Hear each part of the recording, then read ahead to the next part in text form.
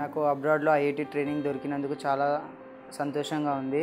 ఫ్యూచర్లో ఐఐటితో నాకు చాలా హెల్ప్ఫుల్ ఉంటుంది. ఎందుకంటే ఐఐటి ఐఐటి చేస్తుండగానే మాకు ఒక జాబ్ అనేది ప్రిఫర్ చేస్తారు.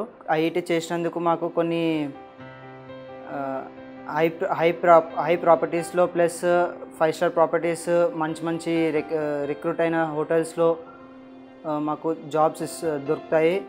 మా అబ్బాయికి హోటల్ మేనేజర్ అంటే చాలా ఇష్టం ఉంది కాబట్టి వాడు వాడు కోరుకునేది అందులో చదివిస్తే వాడు బాగా చదువుకుంటాడు అనేసి ఎంత కష్టమైన ఆ కోర్సును చదివిస్తాను నేను డ్యూటీ చేస్తూ ఓవర్ టైం చేస్తూ మళ్ళీ ఈవినింగ్ పార్ట్ టైం ప్రైవేట్గా పనిచేస్తూ డబ్బులు పోగు చేసి వానికి ఇంట్రెస్ట్ ఉంది మనం చదివించాలని చెప్పి ఆ ఇన్బ ఆ- ఆ స్ఫూర్తిని వాడికి ఇచ్చి చదివించాను నేను. మీ ఆయన ఆయనకు కూడా చాలా ఇష్టం ఉందనమాట అదే హోటల్ మేనేజ్మెంట్. చేస్తా నేను అదే చేస్తా అని ఆయనకు ఉండే సరే అదే చూద్దాంలే మనకు అని ఏ, చెయ్యి నువ్వు అదే బాగుంటుంది. మరి నీకు ఇష్టం ఉన్నప్పుడు అని చేయించిన. రెండో సంవత్సరానికి అబ్రాడ్ పంపిస్తామని కోచింగ్ ఇస్తాం అక్కడ అని ట్రైనింగ్ ఇస్తామని అన్నారు.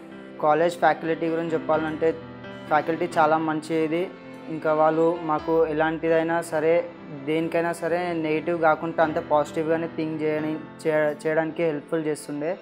ప్లస్ పార్ట్ టైం జాబ్ గురించి చెప్పాలంటే మాకు మంచి మంచి five star proper five star restaurants మంచి మంచి రెస్టారెంట్స్లో మాకు జాబ్ ఇప్పించారు. అది కూడా మాకు ఏ డిపార్ట్మెంట్లో ఇంట్రెస్ట్ ఉందో అదే డిపార్ట్మెంట్కి మాకు జాబ్ ఇప్పించారు. వేరే కాలేజెస్లో ఎక్కువ మటుకు థియరీ ఉంటు ఉంటుంది. కానీ మా కాలేజ్లో మాత్రం ఎక్కువ ప్రాక్టికల్ ఉంటుంది. మార్నింగ్ ఒకవేళ టూ అవర్స్ ప్రాక్టి థియరీ తీసుకున్న దాని గురించే ఆఫ్టర్నూన్ మళ్ళీ టూ అవర్స్ ప్రాక్టి ప్రాక్టికల్గా చేసి చూపిస్తుండే ఏదైనా సరే. యాక్చువల్లీ ఈ రోజులో బీఏ బీటెక్ ఎంటెక్ అలాగే మెడికల్ లైన్లో మెడికల్ రిప్రజెంటేటివ్ అలా చేసి స్ట్రగుల్ చేస్తూ వాళ్ళు ఎంతో కాలానికి వాళ్ళకి జాబ్ దొరుకు స్టడీస్ కంప్లీట్ అయినాక కూడా ఎంతో కాలానికి వాళ్ళకి జాబ్ దొరుకుతుంది కాబట్టి ఈ లైన్లో చేస్తే వీడికి ఇచ్చిన ప్రొఫెషన్స్ ఏదైతే హోటల్ మేనేజ్మెంట్ చేసుకుంటే ట్రైనింగ్ అవుతూనే ఉంటే ట్రైనింగ్లోనే వా కాలే అదే హోటల్ నుంచి వాళ్ళకి జాబ్ ఇస్తారని నమ్మకం ఇస్తూ వాళ్ళు అమృత కాలేజ్ వాళ్ళు ఆ ఆఫర్స్ ఇచ్చి